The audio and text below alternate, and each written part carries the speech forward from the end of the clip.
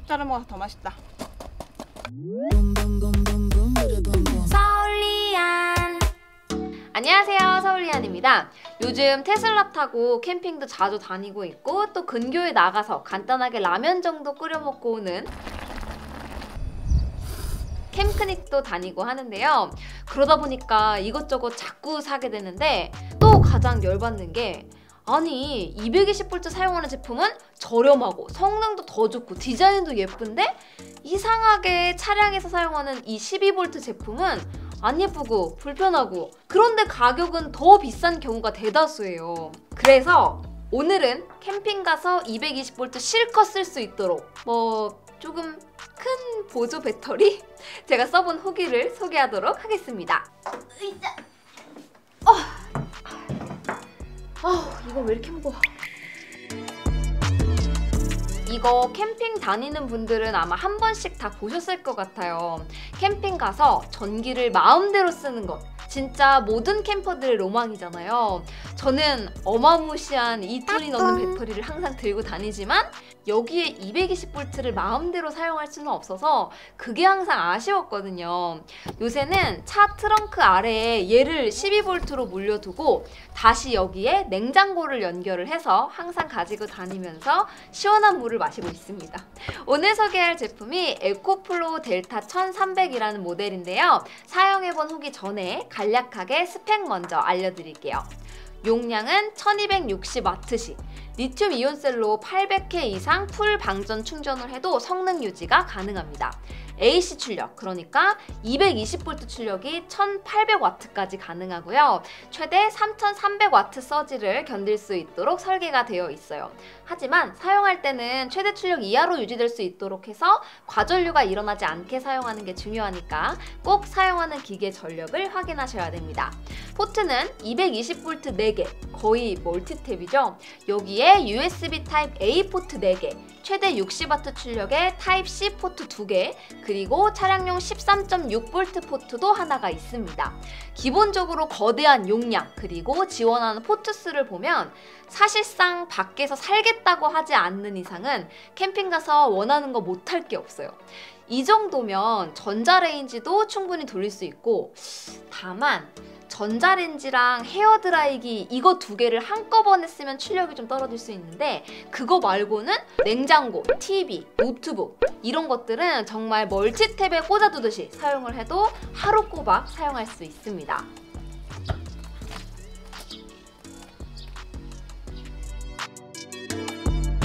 이거 받자마자 캠크닉 겸 야외 촬영을 하러 캠핑장에 다녀왔는데요. 캠핑 가서 먹고 노는 것도 물론 참 중요하지만 그것보다 사실 더 중요한 게 촬영이라서 서울리안 그동안 못한 촬영들 그리고 리안카 촬영까지 하다 보면 충전할 게 한두 가지가 아니거든요. 이날도 각종 카메라들 배터리 돌려가면서 사용하고 랩탑 리뷰용으로 사용 중인 제품을 들고 가서 이리저리 또 써보고 또 그 와중에 시원한 물은 마셔야 되니까 냉장고 연결해서 온도 유지도 해놓고 이게 전날 준비를 다 하려고 해도 꼭 하나 둘씩은 빼먹기 마련이거든요. 아주 그냥 보조 배터리 하나 충전을 해가면 다 해결이 되니까 너무너무 편했습니다. 무게가 무려 14kg이라서 진짜 무거워요.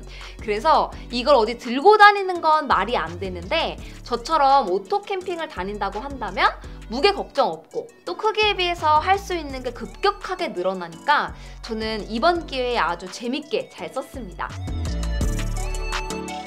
그리고 한 가지 더 재밌는 게 있는데요. 함께 판매하고 있는 태양광 패널로 충전이 가능합니다.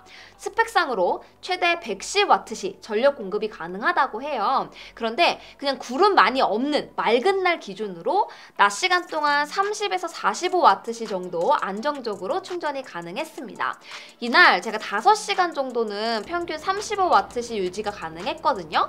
그럼 대략 150에서 180W시의 전력을 만들어준다는 건데 이게 무시할 만한 수준은 아니에요.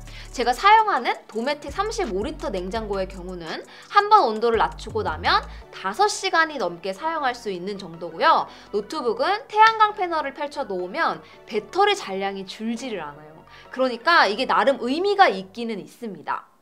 그래서 이게 정말 필요할까요? 먼저 대한민국에서 전기 없이 어딘가에 갇혀 있을 상황 때문에 이게 필요하다?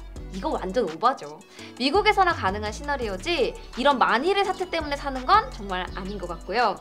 이걸 사용하는데 얼마나 만족감을 느끼는지 오히려 이 개인적인 성향에 달린 것 같습니다. 이걸로 그래서 얼마나 전기비를 아낄 수 있는데 혹은 태양광 패널 본전 뽑으려면 충전 얼마나 해야 되지? 이런 ROI 관점으로 보면 솔직히 안 사는 게 맞는 것 같고 저처럼 와나 태양광으로 공짜로 라면 끓여 먹는다 아니면 뭐 캠핑 가서 괜히 이거 딱 꺼내가지고 설치를 해두고 냉장고 연결 딱 해놓고 이거 지금 태양광 패널로 시원하게 물 마시는 거야 이런 거에 뿌듯함을 느끼는 사람? 저처럼? 그리고 또 캠핑이라는 게 감성의 영역이 존재를 하다 보니까 적어도 제 주변인들은 사용하는 거 보더니 제일 좋아하고 신기해하는 게 이 본체가 아니라 태양광 패널이기는 했어요.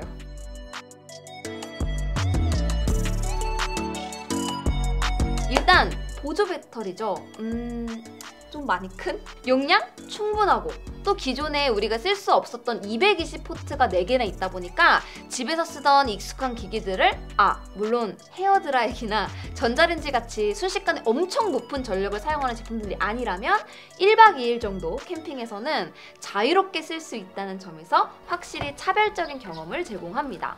다소 높은 가격과 캠핑에서의 남다른 경험 혹은 편의성 그 사이에서 본인의 기준에 맞게 저울질 해보면 좋을 것 같아요. 그리고 용량이 너무 크다. 그럴 경우는 리버맥스 모델이라고 용량도 절반, 가격도 절반 이하인 모델도 있으니까 그걸 보셔도 좋을 것 같습니다.